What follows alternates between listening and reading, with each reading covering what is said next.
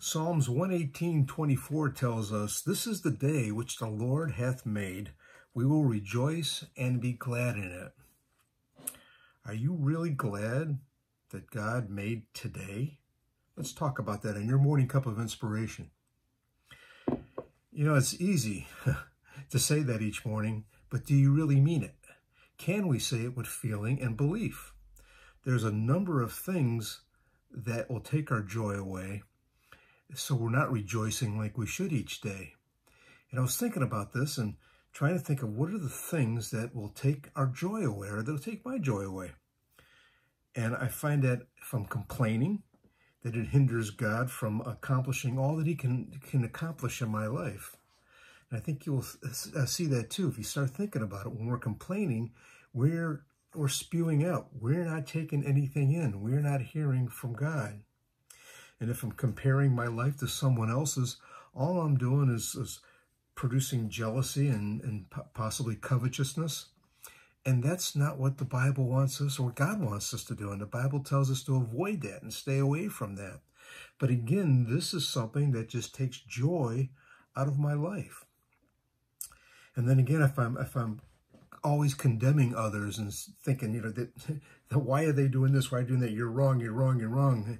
I'm not the only one that's right, but when I'm doing that, I'm I'm heaping this undue shame on other people and, and I'm driving them away from God instead of leading them to have a, a personal relationship with Jesus. See, all these things take away our joy. And when I'm if I'm acting out in any of these ways, then I'm crushing my own spirit. And when I do that, then I, I, I bring in a sense of hopelessness. And that is something that, that destroys us, that brings us down. And you get up in the morning and you can't say that uh, this is the day the Lord has made. I will rejoice and be glad in it because you're not.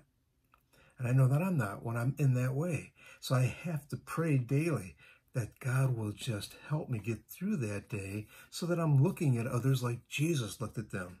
I am I want to I want to see in other people what Jesus saw in other people. And that makes my day complete. That makes it full. That makes me want to be more of a help than a hindrance. You know, Philippians 4, 6 through 8, we've talked about it before, but it's so appropriate for this. It says, Do not be anxious about anything, but in every situation by prayer and petition, with thanksgiving, present your requests to God, and the peace of God, which transcends all understanding, will guard your hearts and your minds in Jesus Christ, or in Christ Jesus. Verse 8, though, finally, brothers and sisters, whatever is true, whatever is noble, whatever is right, whatever is pure, whatever is lovely, whatever is admirable, if anything is excellent or praiseworthy, think about such things. You know, when we put our mindset like that, when we take that to heart and do it literally, is what he's saying, we can truly say Psalms 118, 24 every morning when we get up. This is the day which the Lord hath made. I will rejoice and be glad in it. God bless you, everyone. Look forward to seeing you again for another morning cup of inspiration. Have a wonderful day.